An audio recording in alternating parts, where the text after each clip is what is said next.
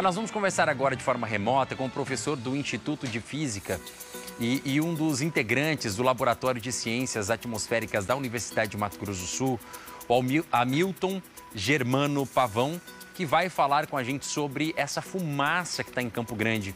Professor Hamilton, é, bom dia, obrigado pela sua presença aqui remotamente conosco.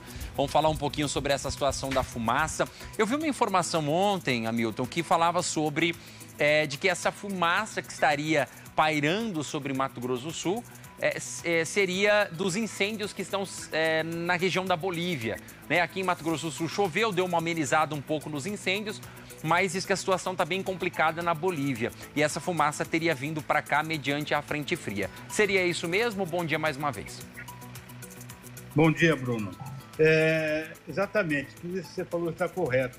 É, no dia 2, né, é, veio uma, uma, uma fumaça muito forte oriunda da Bolívia, que fez com que a concentração, que estava em torno de 50 microgramas por metro cúbico, fosse para quase 250, ou seja, quase cinco vezes o valor. Então foi e deixou a qualidade do ar é, numa qualidade extremamente ruim. E isso foi proveniente exatamente de uma fumaça que veio da Bolívia. Agora, com uma entrada dessa frente fria de ontem para hoje, é, a qualidade do ar já melhorou bem, já está moderada. Inclusive, né, como andou chovendo aqui perto, a tendência é que a qualidade do ar caia para é, melhore, né? A qualidade boa. Certo. Hamilton, então é essa percepção que nós tivemos hoje aqui em relação a, a esse clima, a fumaça que hoje em Campo Grande, é, nós percebemos que quase não há fumaça, né? É, é, melhorou bastante o clima. É por conta dessa frente fria que, que, que chegou aqui na nossa região. Isso deve, então, é, melhorar um pouco a nossa qualidade do ar, ficando mais fácil aí para respirar? Sim, a tendência é que haja uma melhora. Porque, como eu falei, essa, semana nós tivemos um pico de, de, de, qualidade ruim. Agora, com essa frente fria, houve uma melhora e com essa tendência de chuva em cidades aqui próximas, a tendência é que a qualidade vá para é, boa.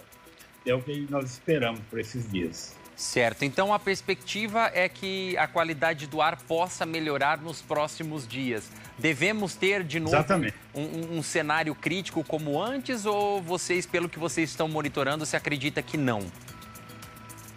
Olha, é, infelizmente, né, estão previstas ondas de calor para os próximos dias, né?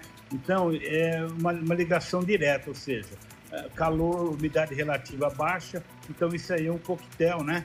Para que haja queimado. Então, infelizmente, eu acredito que ainda teremos alguns dias de qualidade ruim. Certo. É, professor Hamilton, muito obrigado pela sua participação aqui. A gente espera que realmente o clima melhore, né? que o ar possa melhorar. Hoje já percebemos que houve uma melhora muito significativa comparada ao dia de ontem, né? E esperamos que, que, que nos próximos dias podemos ter aí bons dias para respirar melhor aqui em Campo Grande, no Mato Grosso do Sul. Obrigado mais uma vez. Exatamente. Obrigado a vocês, estamos à disposição e vamos torcer para que venha uma chuva, para que tenhamos uma qualidade do ar muito boa. Muito obrigado, Bruno. Com certeza. Eu que agradeço mais uma vez em nome de toda a nossa equipe. Tá aí, né, gente? Essa frente fria que chegou no Mato Grosso do Sul. Hoje, Campo Grande, nós percebemos que a qualidade do ar está muito melhor do que antes. Né? Ainda não é o ideal, mas está muito melhor do que estava. Esperamos que chova de fato. Esperamos que caia água para poder melhorar esse clima e amenizar o calorão, apesar de que há previsão ainda né, de uma nova onda de calor é, aqui pelo nosso estado.